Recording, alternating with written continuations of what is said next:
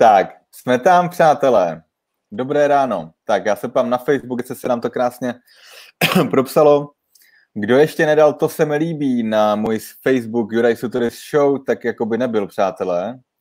Tak ještě jednou to tam odkliknu. A první like je samozřejmě vždycky můj. Tak, úžasný. Dám si ho tam. Zazdílím to k sobě na zeď.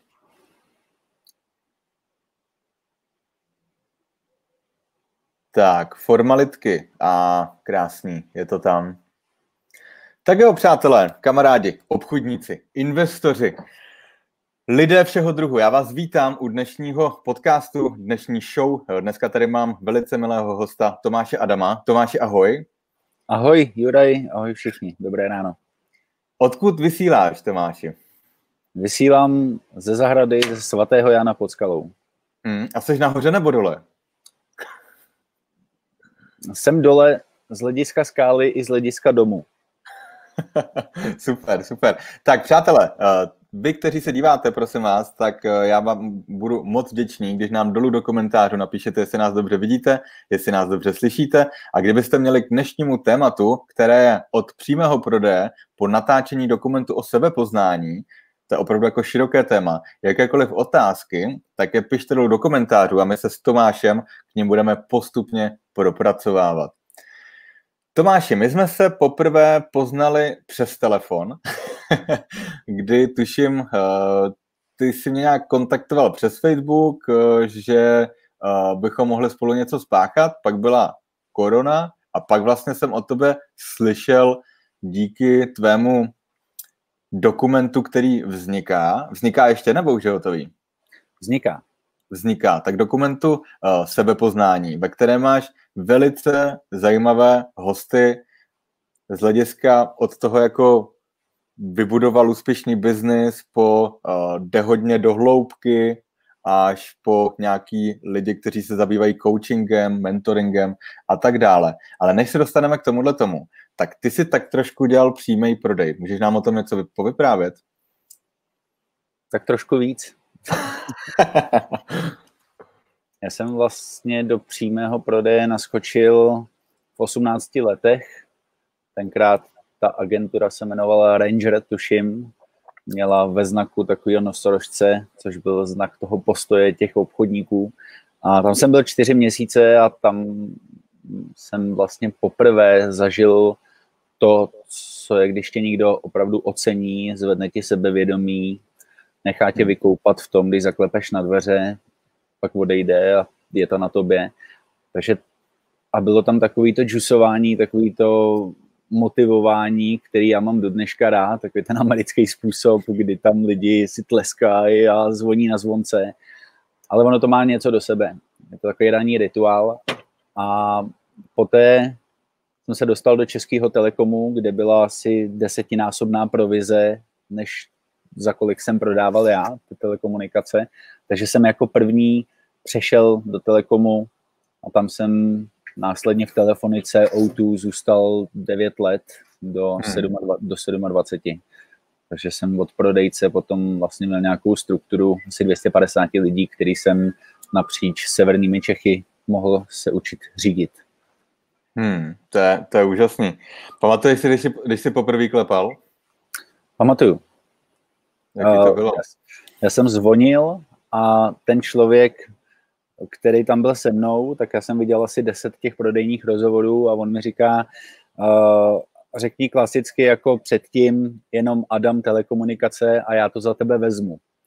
A já jsem říkám, dobrý den, Adam telekomunikace a on vzal telefon a říká, dobrý den, promiň, mě někdo volá, já to jdu zvednout, vyřiď to.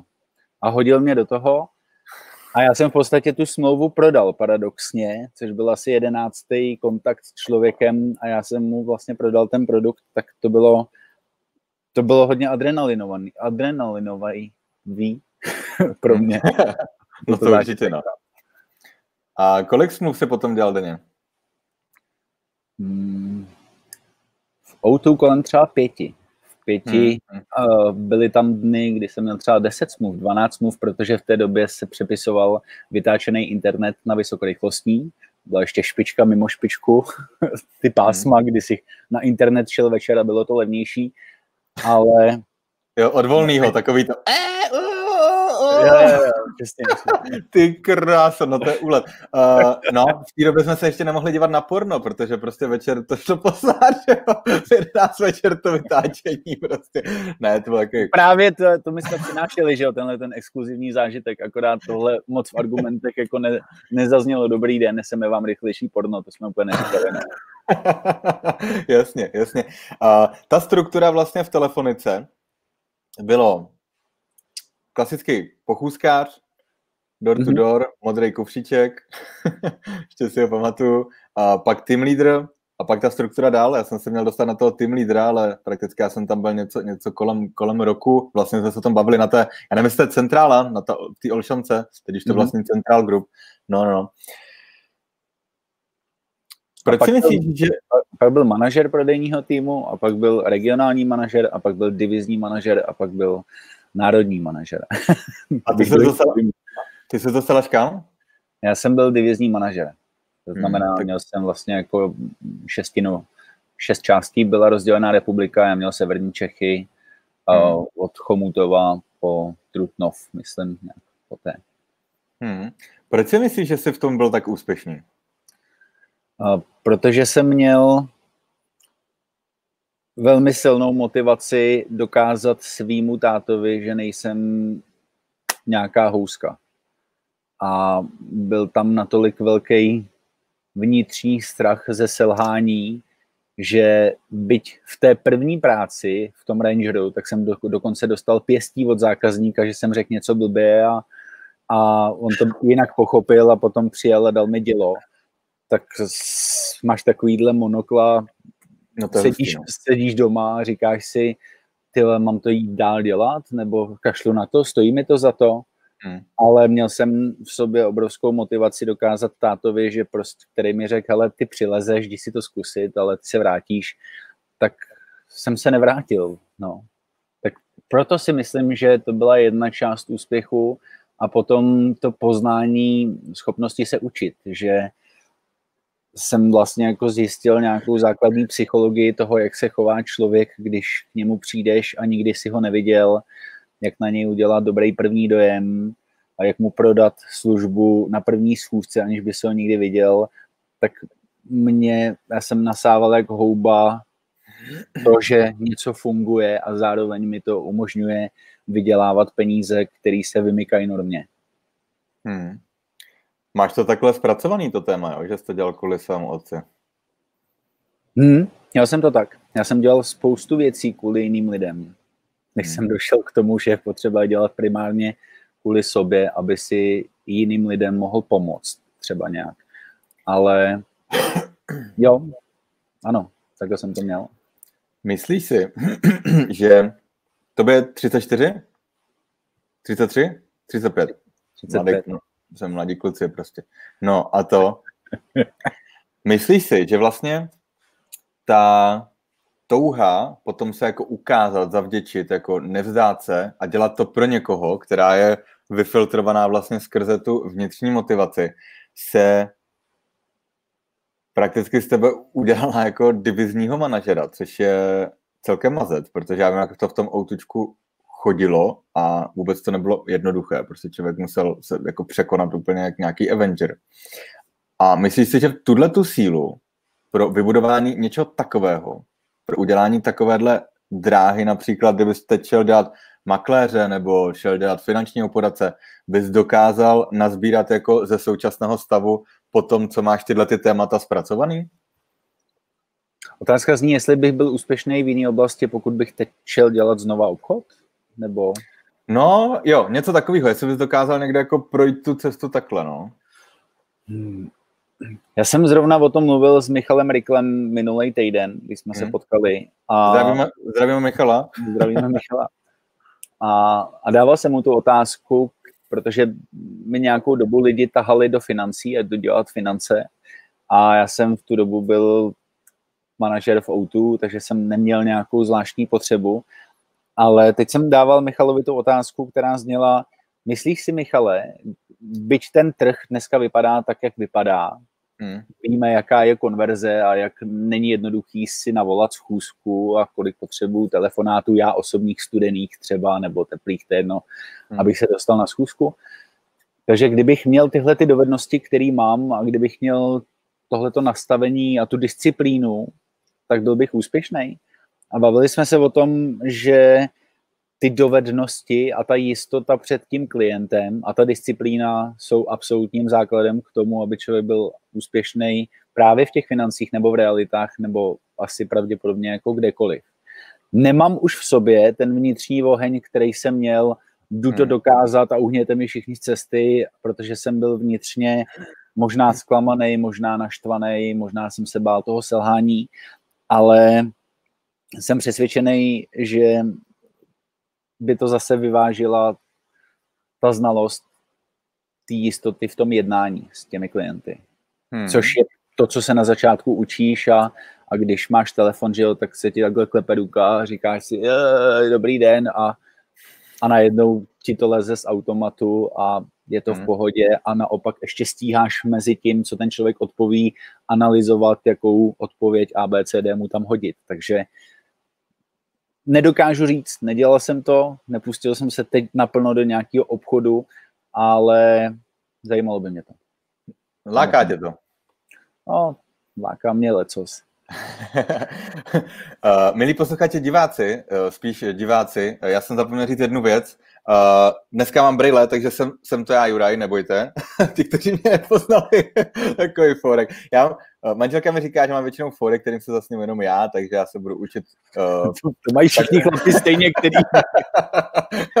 takže prostě já se vždycky strašně pobavím a a okolí uh, nikoliv většinou, ale tak prostě od toho jsme na tom světě, abychom se učili stále lépe bavit své manželky. Tak, přátelé, jestli máte nějaké otázky, které vás zajímají, protože máme tady opravdu uh, profíka uh, z přímého prodeje, který prošel uh, zajímavou strukturou.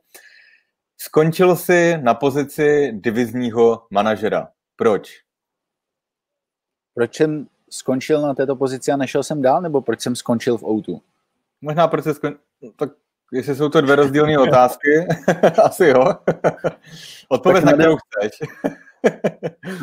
Nade mnou už byl národní manažer a v té době já jsem velmi vnímal ten tlak, protože čím vejš v tý člověk, čím vejš je člověk ve struktuře, tak tím víc tam vnímá jistý motivy osobních zájmů, to, že ty lidi se na poradě na sebe smějou, ale vlastně takový kamarádi nejsou a jsou si schopní hledat, co udělat. A, a tohle pro mě bylo takovým velkým lidským zklamáním toho, že proč, proč se někdo chová takhle a vlastně se jako přetvařuje.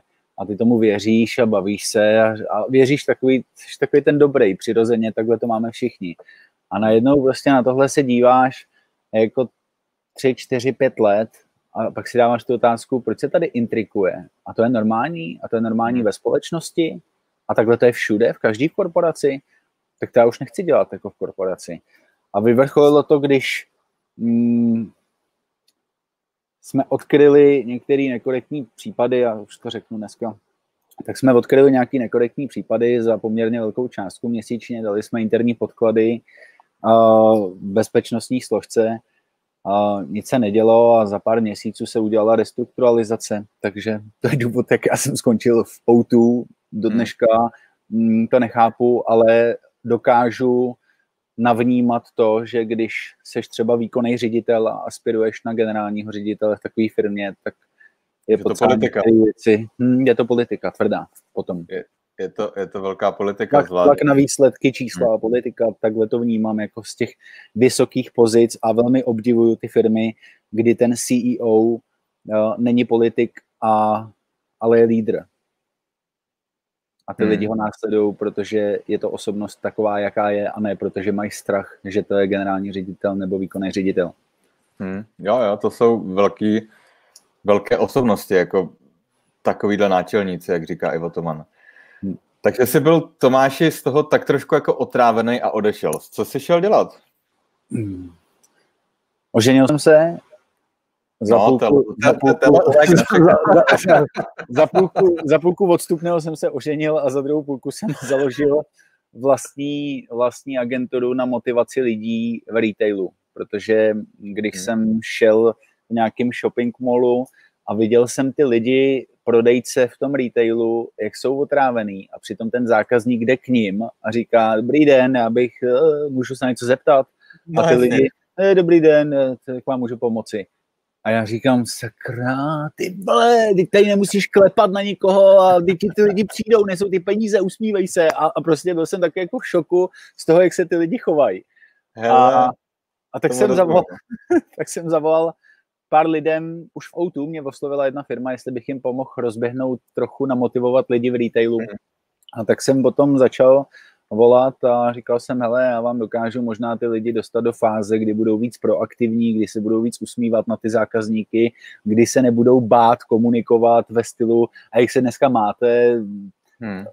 což navazuje vztah s tím člověkem, odlišně se rozloučit. A tak jsem si dal postupně nějaký prodejní kroky, nějakou kostru, kterou jsem začal vyučovat ve firmách živě, hmm. Eh, ve spojení s takovou onlineovou platformou, kterou jsme vytvořili, kdy natočíme video learning v tom retailu a v reálném prostředí a ta firma potom si tam může nastavit neomezené množství zaměstnanců, které bosa, které... Já, já, já ji vidím, ale, ale málem se to dalo jako, že by tě štípla, ani, ani by to nešlo vidět. Jako. Uh, takže firma si tam může dát neomezený počet zaměstnanců a ty můžou se dívat na video, což ve finále je pro tu firmu levnější a hmm. efektivnější v dnešní době.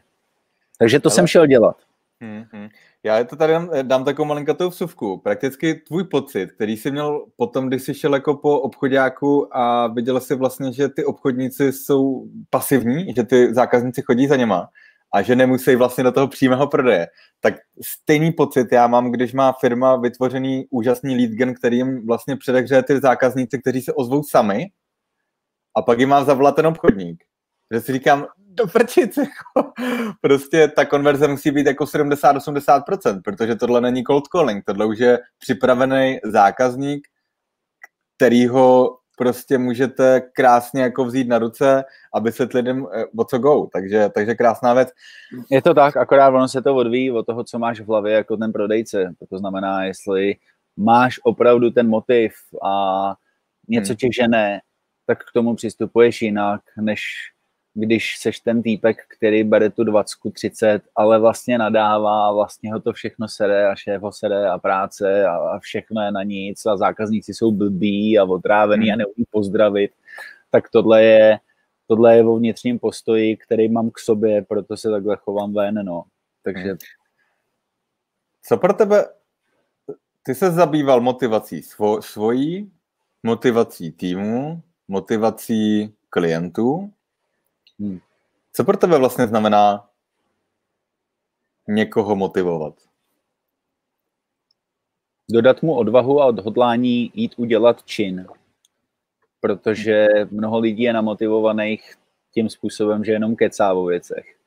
Ale když má dojít jako na to, OK, tak zvedni telefon, nebo hmm. a, zakládám projekt, já nevím, hlídám děti, no tak jdi a obejdi sousedství a řekni, že to děláš. Víš, takže za mě jako motivovat znamená někoho dodat mu odvahu k odhodlání udělat tu akci. A uvědomit si, že když tu akci udělám jednou, dostanu zpětnou vazbu, můžu to zlepšit. Po druhé, po třetí, po čtvrtý a už to jde automaticky. Tada umím a můžu přejít na další úroveň. A jedu takhle postupně a jim, ten, jim toho slona po kouskách, jak se říká. No. Takže asi tak. Hmm. Takže to prochází s těma lidma, aby jako... Já dneska protože, pra... no. protože někdo prakticky jakoby je výborný na, tu, na ten začátek jako uh, právě nahnat ten adrenalin do žil, ale tam to usekne a to je celý. a mi se líbí, že jsi to řekl jako k té akci, protože ona jako na motivace dneska nebo přemotivovat se uh, si myslím, že když člověk jako si najde ty svý spouštěče, tak jde celkem lehce, ale málo kdo, málo kdo přesně udělá tu akci, no. Takže je dobrý prostě co nejdřív jako selhávat, jo. Ano, ano. My to selhání a ty chyby, uh, jako jsme tak dali do toho negativního pojmu, ale chyba je úžasná věc, která ti vlastně umožňuje být lepší v konkrétní činnosti. Takže já se na to dívám takhle a pokud se dostanu do fáze, že uh, uvědomím, uvědomuju si, že mi nejde o život, fyzicky mě nic neohrožuje a mám to jenom v hlavě, že se něčeho hmm. bojím, že bych měl nějaký divný pocit, tak vy, vykašlat se na to, čemu ti to jako bude, takovýhle stav. Takže hmm. to je právě nejlepší potom za tou hranicí, když to zkusíš a řekneš, řekni tohle a uvidíš, a řekni to deseti lidem a uvidíš, že sedm z těch lidí zareaguje pozitivně. A teď jsi hmm. u toho člověka a říkáš, tak teď to udělej. A ten člověk to udělá a ty potom může říct, hele, a jak se cítil? A ten člověk řekne, no vlastně jo, a neublížilo ti to, veď? No, neublížilo. A smál se ten člověk a byl příjemný. Jo, jo, jo. Ale stejně pokud tam není vnitřní pochopení toho, aby ten člověk ten skill vzal jako nástroj, který ho kopne vejš v životě a využil to pro to, co chce dělat, tak to stejně nebude fungovat, tak ta motivace je k ničemu. Musí to opravdu jít zevnitř. Takže jsme schopni ty lidi natchnout. Dneska je všude plno informací, které tě natchnou. Hmm. Hůř už se z toho vybírá. A potom je to o tom činu. A když se mi něco jednou nepovede, nebo když nemám dostatečný počet ohlasů, tak je to o tom držet to zaměření a tu konstantu.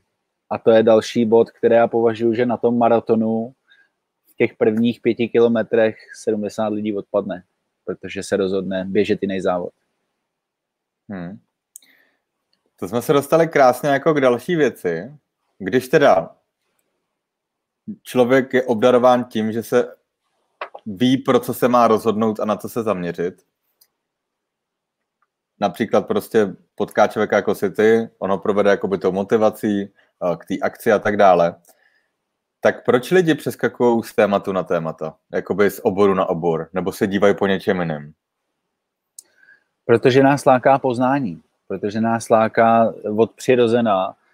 Tak jako, já nevím, možná budu mluvit teď za víc lidí, ale budu mluvit ze své zkušenosti. Můj táta měl představu, že budu fotbalista a od čtyřech, pěti let mě k tomu vedl.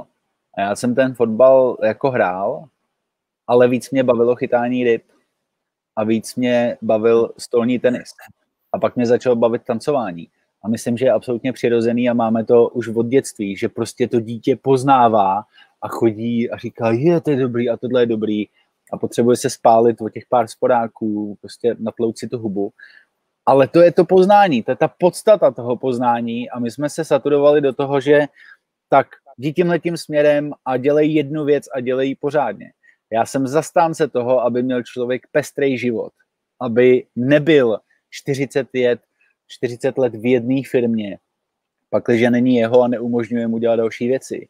Ale mm, na druhou stranu ten fokus a to zaměření platí to pravidlo, kam se zaměříš, tam to roste. A teď je na tobě, kam chceš, aby to rostlo. To znamená, já jsem se částečně naučil obchod, tak aby mi to pomáhalo v životě, ale nejsem nejlepší obchodník na světě. Naučil jsem se uh, řízení lidí, abych mohl dneska někomu nastavit, jak řídit strukturu. A hmm. naučil jsem se v MBA businessu leadership a nějakým základům a naučil jsem se pracovat s kamerou, naučil jsem se a tam už používám to, že oslovuju některý lidi, aby mi dali rozhovor a to už zase využívám z toho přímého prodeje. Takže já moc rád objevuju a spíš nejsem zastánce toho, aby člověk dělal jednu věc, protože pak můžeš mít takový ten pocit, jo, já jsem chtěl vždycky vlastně dělat tohle, ale nikdy jsem to neskusil. Nevím, jestli jsem odpověděl na tu otázku, ale hmm. přijde mi to jako ne úplně jednoduchý rozhodování, jestli jít tou jednou cestou a být nejlepší v tomhle a v tomhle, anebo mít pestrý život a poznávat, což je to, co já mám rád. Hmm. Já ti úplně rozumím, já to mám podobně, že rád poznávám, občas je to handicap, občas je to vlastně dobré v tom životě, protože já si myslím, že třeba když je člověk v realitách a jde trošičku out of box, já jsem na teďko měl živé vysílání, tak vlastně jdeš do jiných oborů, nebo do sportu, nebo poslechneš si, já nevím, uh, mentální trenér, jak se mu říká, mentální konči, kouči, je to bylo tak divně, tak vlastně, tak to, tak uh, někdo něco řekne a ono tě tak jako nasměřuje, co můžeš vlastně potom jako převízt do toho oboru, takže to je dobré. Přeskakovat jako úplně z oboru na obor a u ničeho nevydržet dlouho, si myslím, že zase může být jako tak jako destruktivní, ale každému sedí ně, něco jiného. Když jsi začal vlastně školit takhle ve firmách, eh, motivaci, motivaci eh, v retailu, eh, motivaci pracovníků v retailu, co jsi dělal potom? Jak dlouho jsi to dělal? Já to dělám do dneška. Mm-hmm. A, a akorát se to zase trošku transformovalo, že dneska už se tolik nebavím, nebo bavím, pokud je to potřeba, s těmi lidmi, kteří jsou v koncové struktuře, ale mhm. bavím se primárně s tím majitelem protože pokud ten majitel má nějakou uvažovací formu a chce, chce změnit jako tu strukturu nebo přemýšlení, tak on musí začít u sebe.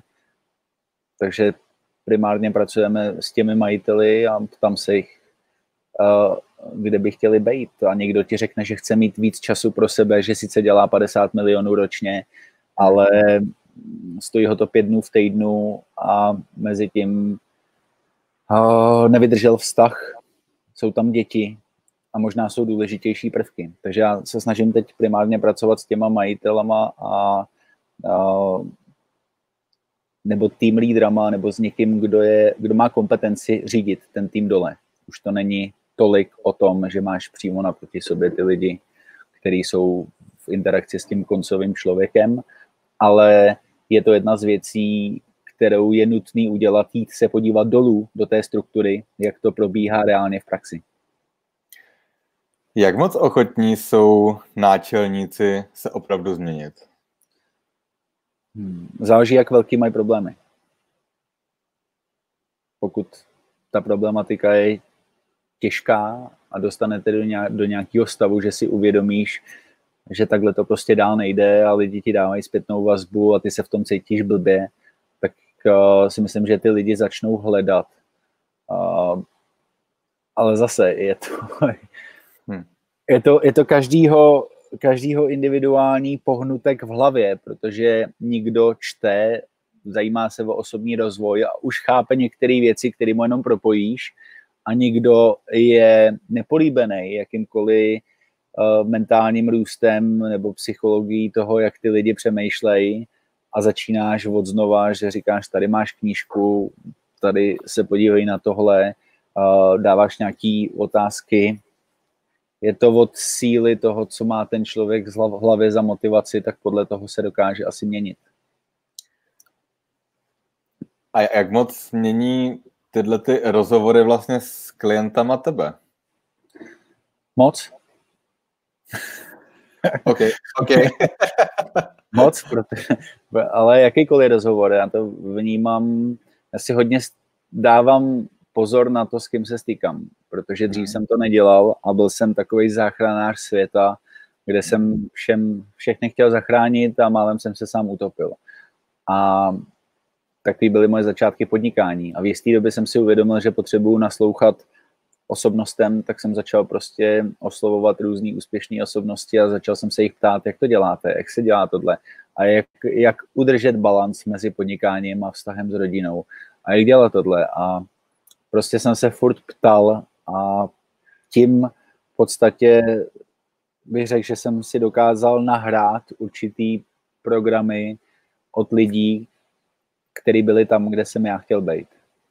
Takže mě to mění obrovským způsobem a zároveň i vidím to, co bych nechtěl a to, jaký zbytečnosti člověk řeší, ale bohužel se to odráží od úrovně jeho vědomí.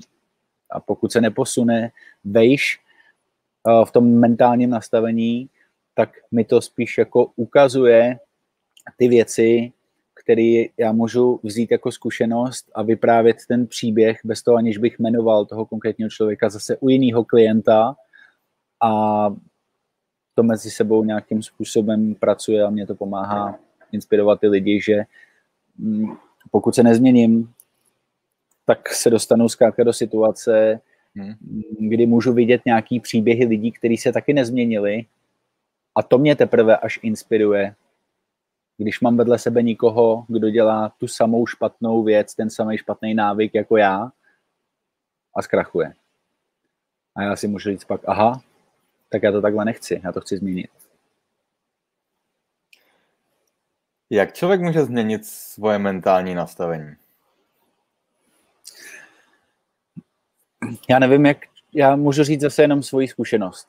Já jsem mentální nastavení změnil díky tomu, že jsem si nabil držku, ale opravdu hodně na můj vkus. To znamená, v 18 jsem měl představu dokazovat věci kvůli jiným lidem a měl jsem přesně naplánovaný život do 33 let, že do kristových let nebudu řešit peníze, nebudu mít skvělé vztahy a, a viděl jsem nějaký ten ideální zlatý kopec pomyslný, na který vylezu a končí ta práce, že si to teď jako odřu. No ale to tak úplně nefunguje. A tudíž já jsem musel přijít eh, o bývalý vztah, to znamená, rozvedl jsem se po desetiletém vztahu, což bylo hodně bolestivý.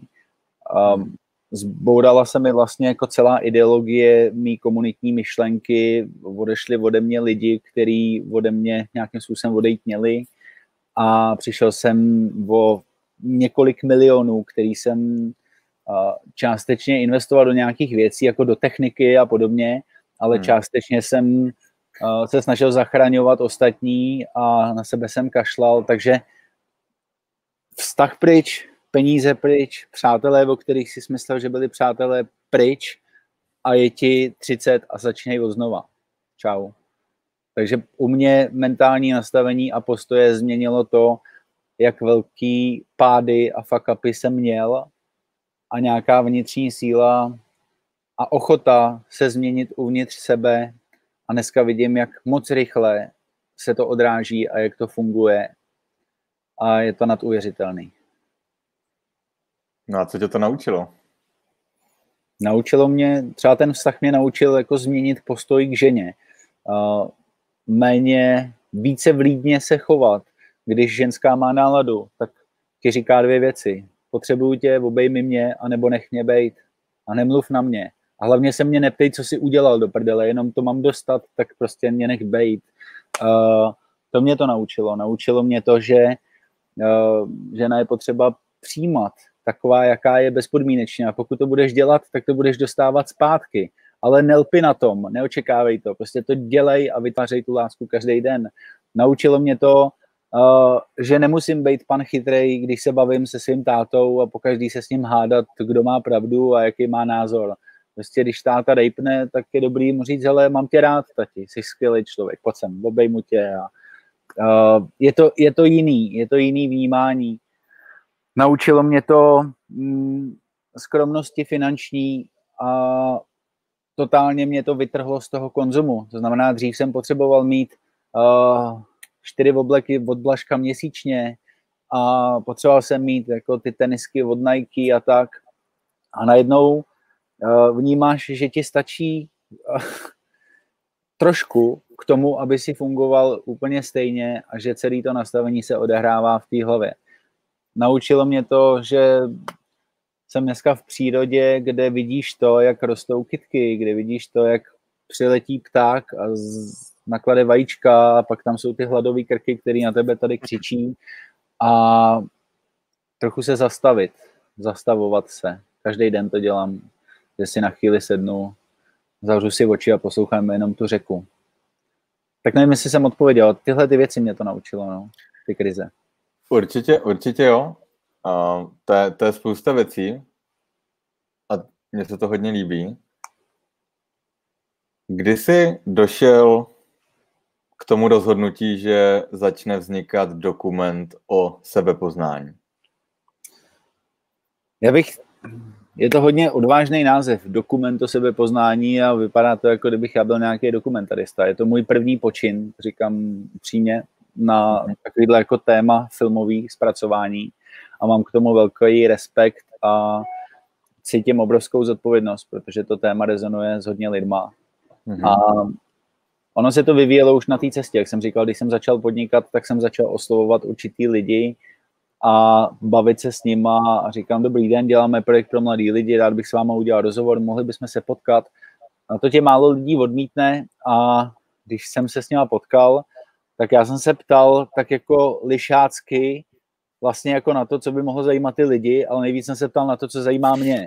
Takže když jsem zrovna řešil vztah sám k sobě a měl jsem možnost mluvit s Jardou Duškem a on mi říká, proč se takhle blbě ptáš, k čemu ti tohle to bude? A totálně mě rozsekal v tom rozhovoru a já do dneška vnímám to, jak je důležitý vybírat správný slova a že ty slova mají obrovskou moc.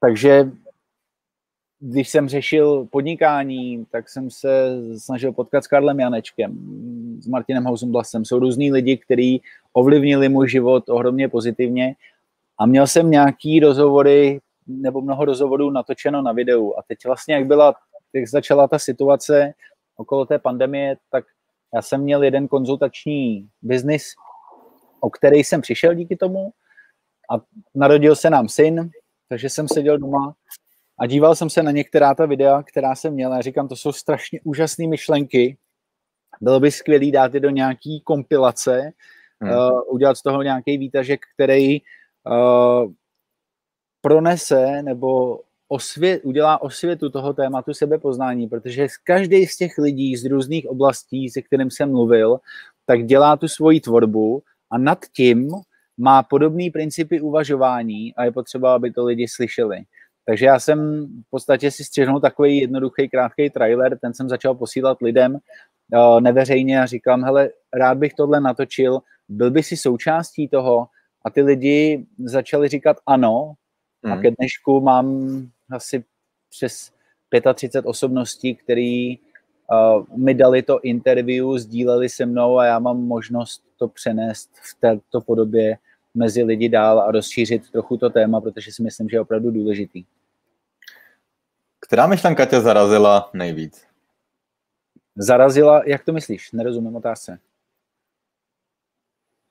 Že Takový ten pocit, že občas někdo ti něco řekne a ty si říkáš do prčec, jako, jak to myslí, nebo co to je? A jako, možná, která s tebou, nechci říct jako rezonovala, ale spíš jako s tebou nejvíc jako zamávala. Takový to, uh, no ono, tady to má víc rozměrů, se kterou si třeba nejvíc nesouhlasil.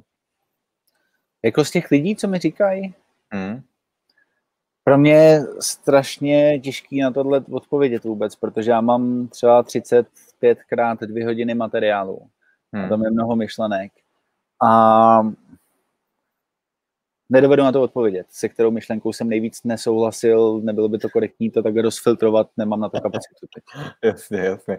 Uh, aktuálně prakticky tvoje uh, nebo probíhá kampaň, kde lidi můžou uh, přispět na dotvoření dokumentu na hithitu.cz. Já jsem dal odkaz vlastně do popisku tohohle videa a dám ho do popisku všude, takže já tuším, že ještě zbývá něco kolem 20 dní na vybrání té kampaně a už jste přesáhli ten limit, ale lidi můžou stále podporovat tento projekt. Je to tak? Ano, je to tak. Já tady mám kočku, která mi sedí za notebookem a hrozně se mě rozhodla kousat. to je dobrý. Je 12 dnů do konce kampaně, vlastně ano. asi čtyři lidi se mě ptali, jaký je zatím biznisový záměr. Není zatím podnikatelský záměr. Jediný záměr je rozšířit to téma a hmm. díky tomu, že na to přistupují různí lidi z různých kultur, tak si myslím, že ho můžeme rozšířit velmi uh, skrze lidi, který každý dělá něco jiného, ale mají co říct. Uh, takže máme nějakých 12 dnů do konce uh, a já jsem než jsme to dali na hit hit, tak už jsem v tom měl nějakých 750 hodin svého času, natáčení, stříhání hmm. a, a, a pak jsme se zeptali vlastně formou hiditu, jestli připravili jsme kampaň, jestli ty lidé, ta společnost uh, s tím vlastně rezonuje, jestli, s tím, jestli je to něco, co je zajímá vůbec, protože občas hmm. děláme věci, které jsou skvělý náš nápad, ale nikoho to nezajímá. Takže, takže je dobrý se těch lidí zeptat a reálně po nějakých 20 dnech, nebo nevím jak dlouho, tak jsme dosáhli těch 100%, ten první milník a teď usilujeme o to, aby jsme zdolali druhý milník, který si myslím, že nám pomůže dostat eh, ten dokument do fáze, kdy ho uvidí opravdu celá země. Hmm. Úžasně. A kde to půjde, kde to půjde ven? Uh, my rádi bychom udělali, uspořádali premiéru s besedou v prosinci. Mm-hmm. Včera jsem četl, od září se začínají zase nosit roušky, takže já nevím přesně, jaká vlastně bude situace, ale mm. prosinec je to téma, na který cílíme. Mm-hmm, mm-hmm, to, ta, ten termín. Ten termín. Mm-hmm, mm-hmm, úžasný, úžasný. Uh, bude se měnit nějak tvůj postoj k biznesu, k podnikání po natočení tomto dokumentu? Budeš se soustředit na něco jiného? Napadl tě tam nějaký jiný podnikatelský záměr na základě vlastně zjištění od no, poslechnutí si příběhů a zajímavých odpovědí od, to, od tolika lidí. Jako, já tím přemýšlím tak, že mě by to vlastně kompletně překopalo úplně.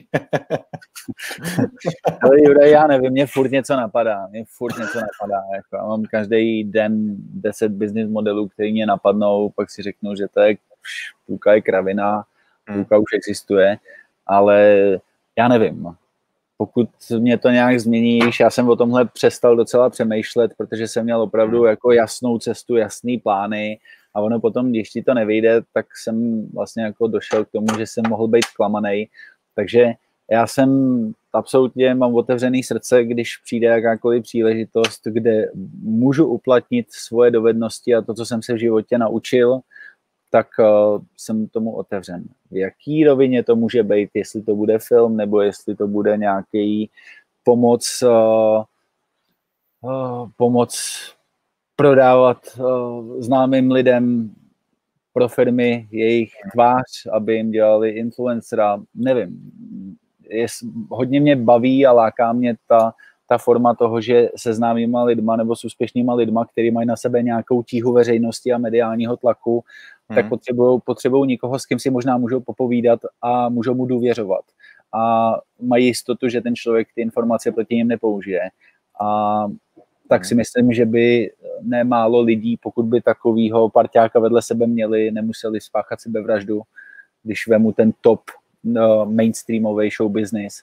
Takže to hmm. mě třeba hodně baví a to mě láká, ale nevím, nedokážu přesně říct teď, ovlivnilo to můj postoj a budu se věnovat tohle. Spíš mě to rozvinulo v tom, že mi to otevřelo mm, srdce a více dokážu rozhodovat na bázi intuice, než o tom přemýšlet hlavou. Hmm. Protože to tělo ti řekne, jestli je to dobře nebo špatně. A jak říká to by tělo, jestli je to dobře nebo špatně? Mě teď říká, že to je velice dobře. Teď ten směr, kterým jdu. A, a říkají to i, i ostatní lidé, tak to je asi nějaký, jako, nějaká spojnice. No. A jak to cítíš? Jakoby, že ti je dobře? Jo, mě je velmi dobře. Mě, já jsem totálně nadšený každý týden, protože já každý týden vlastně potkám jednoho, dva nový lidi, o kterých jsem mi ani nesnělo, možná, že se s nima někdy jako setkám, ale už je beru a to, co mi dělá dobře, je, že mám pocit, že nastupujeme do prostoru, kde se můžeme důvěřovat. Že tam hmm. je vzájemná důvěra a já všechny ty lidi vnímám, jako kdybych je znal 20 let a byli to mi nejlepší kamarádi. A, a to mi dělá dobře a vnímám to i, že ti lidé to možná mají taky tak, že se to zrcadlí. Hmm. Vytvářet ten prostor důvěry, ten tady chybí v Čechách. Ta důvěra je zajímavý, no. To je zajímavá, zajímavé téma, o kterém se moc nemluví. To, má, to máš pravdu. A jak člověk pozná, že může druhému důvěřovat?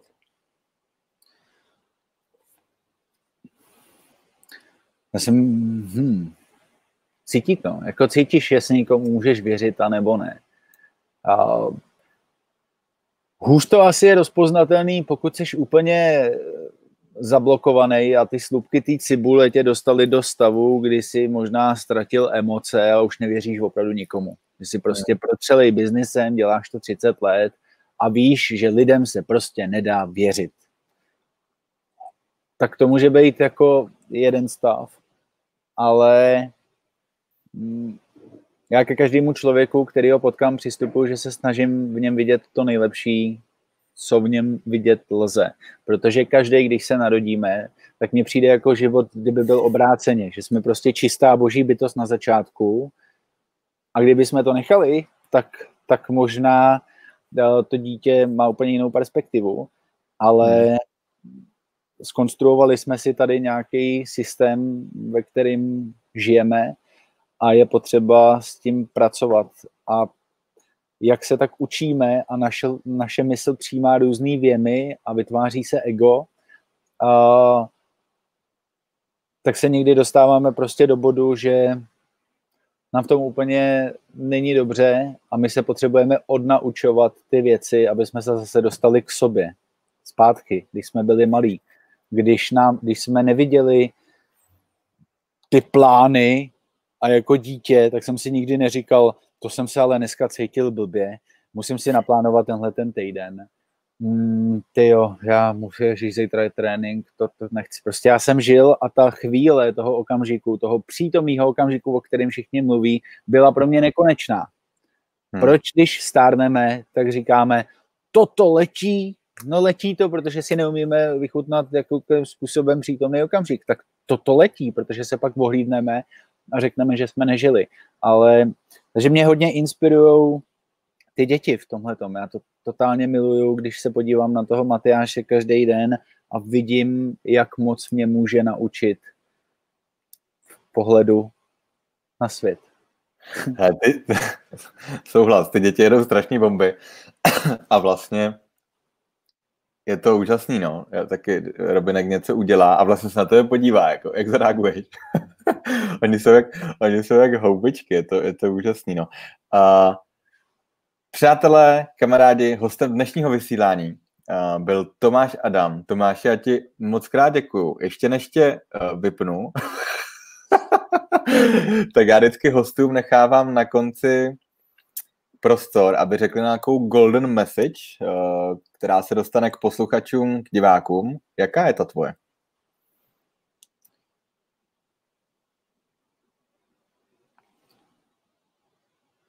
Zkusme si důvěřovat mezi lidmi a buďme chápající, když na vás někdo může být nepříjemný anebo naštvaný, tak to jenom znamená, že ho momentálně něco trápí a je to nejlepší způsob, který umí interpretovat směrem k vaší osobě.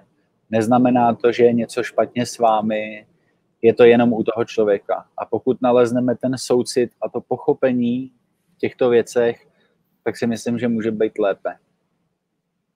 Hmm.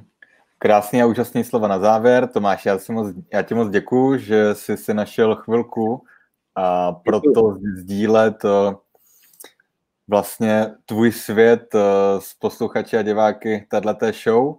Přeju ti, ať se ti daří, protože ten dokument bude pecká, ten trailer je úplně, já jsem to viděl poprvé, říkám, ty kráso, tady vzniká fakt něco velkého, moc ti fandím a těším se, že se brzy uvidíme offline, a vy, milí posluchači, diváci, přidejte si Juraj Sutoris Show na Instagramu, protože já vím, že ho všichni máte, tak si mě tam přidejte, občas tam dávám jiný, obsah. Jestli se vám tohleto živé vysílání líbilo, budu rád, když ho zazdílíte mezi své přátele, ať se dostane mezi víc lidí. No a jestli se vám líbil rozhovor uh, s Tomášem, tak budu rád, když mu napíšete, protože vím, že to hostům vždycky dělá radost, že si jim třeba ozvete, že podpoříte nějakým způsobem nebo se na něco doptáte.